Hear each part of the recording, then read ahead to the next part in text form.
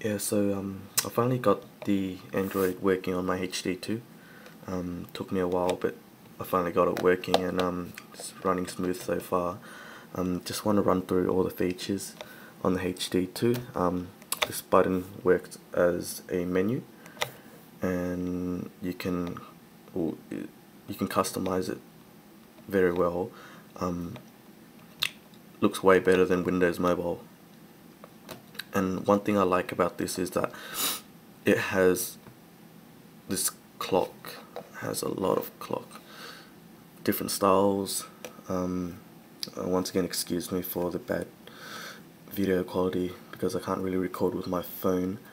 Um, but at the moment I'm just excuse me I'm just trying to set up um, my home screen to how I liked it um, I've done it before but I had to reset the whole thing due to some problem with the other firmware.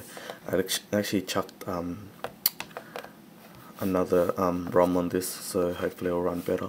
Um, I've been running it for about an hour now so it's been good so far. Um, yeah, everything's working fine, um, the internet's working, phone's working, and you, I can actually download all my contact from Gmail and actually haven't synced that through yet but um, I'll do it very soon. Let's run you guys through the app store on this. Um, have to actually set up an account but yeah overall I'm really happy. Um, Facebook is better like it works exactly the same almost exactly the same as the iPhone app. Um, just need to sign in I can't be bothered doing that. It's just a rough video you just to show you guys how it is um, you can add shortcuts to the menu. So let's say we'll put on a Facebook link and it'll appear there. And we'll probably chuck on calendar. And the good thing about it is it has different pages. As you scroll along you get you know different things. So here you can chuck let's say um, we'll go back we'll chuck on a widget a Facebook widget. So once you're signed in um, all your status and all your friends updates will be put on there. And on another page you can put on let's say um,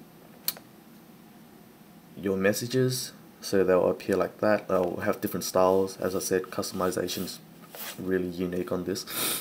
Um, yeah I don't think Windows can compare but I love it I just absolutely love it so um, that's all for now I'll keep you guys updated um, and once again, thanks to the guys at XDA Developers for making this happen. See ya.